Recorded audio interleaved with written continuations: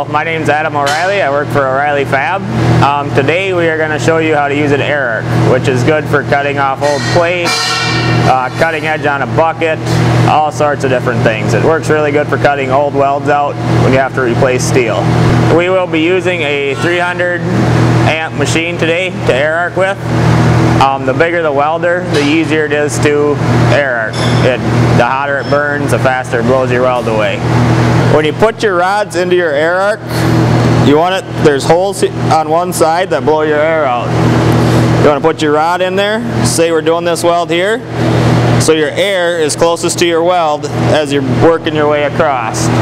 That way it blows all your sparks and slag away instead of staying in the hole.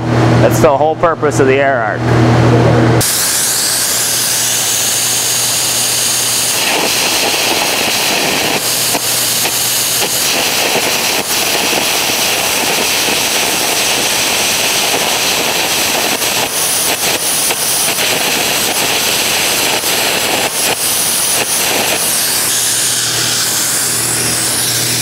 Now as you can see, a seam opened up right there.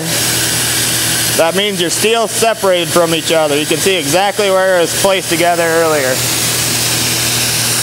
And that's all there is to it.